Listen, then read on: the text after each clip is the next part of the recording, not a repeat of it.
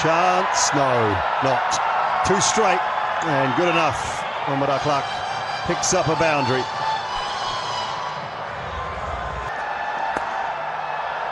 It's pulled beautifully. Went short and Shan Masood, he just eats that. Lovely pull shot.